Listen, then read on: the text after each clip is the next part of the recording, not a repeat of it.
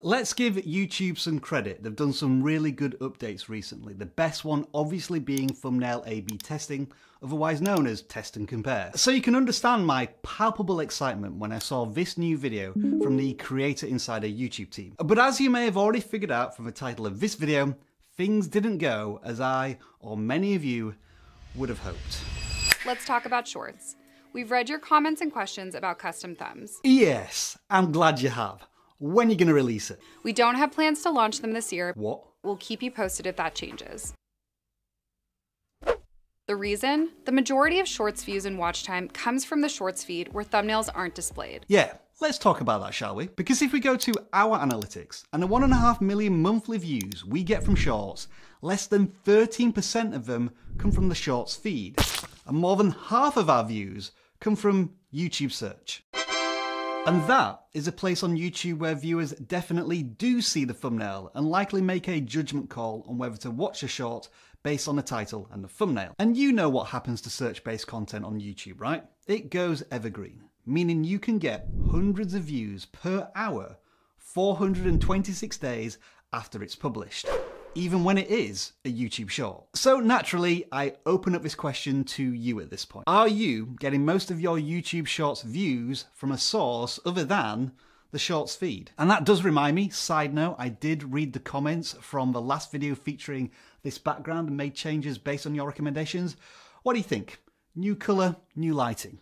Feedback appreciated. Now, let's be honest, I don't imagine too many creators get most of their views from a source other than the Shorts feed. vidIQ's data might be a rare occurrence, our channel might be an edge case. But since the YouTube platform has this long-standing reputation as being the internet's unofficial video search engine, we treated YouTube Shorts in the same manner, and we benefited from 12 million views. Impressive in one sense, yes, but in another sense, 12 million views barely touches the monetization requirements if we could do that in three months, which we never would be able to do. So I will admit, our influence on whether or not YouTube Shorts should have custom thumbnails is barely a ripple in the YouTube Shorts ocean. But there's always an easy way to democratize this question, right?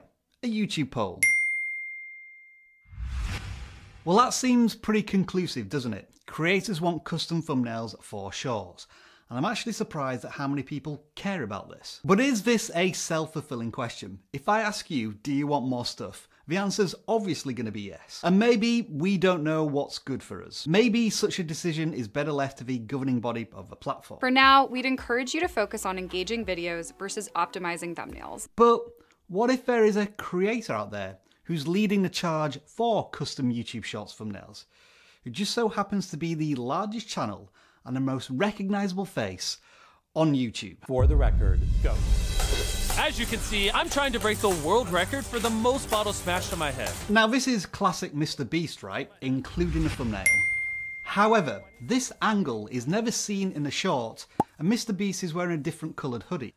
This thumbnail is not a part of a short. It is a custom thumbnail.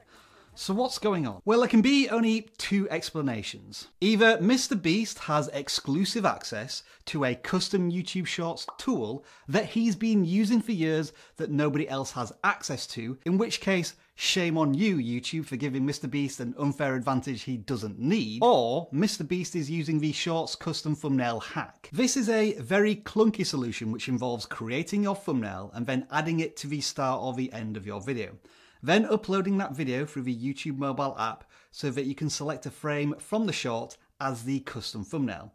Then going into the video editor in the desktop version of the YouTube Studio to trim out the thumbnail image, leaving you with the thumbnail but no trace of it in the video itself. Whew. That's a lot of effort, but it does give you the desired result when somebody is searching for content and finds your intentionally designed thumbnail up against a blurry face from a random video frame. Now I don't create hacked custom thumbnails for all of our YouTube shorts. And when I do, I keep them very basic, spending no more than 15 minutes on them but anecdotally, they do seem to perform better. But it may also be the case that the short performed better because it was a better idea in the first place, so I was willing to spend more time on it, including making a custom thumbnail. Again, it is hard to draw big conclusions from what we here at vidIQ are doing, but we should all pay attention to what Mr. Beast is doing, and he is making custom thumbnails for his YouTube shorts. So come on, YouTube, How hard would it be? I don't think anybody is asking for anything as complex as A-B thumbnail testing for our YouTube shorts. It would just be nice to upload a thumbnail if we chose to do so.